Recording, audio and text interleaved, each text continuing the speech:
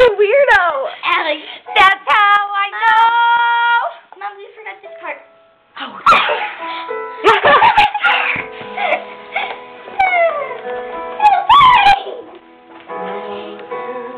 Gotta do that alone, Pete.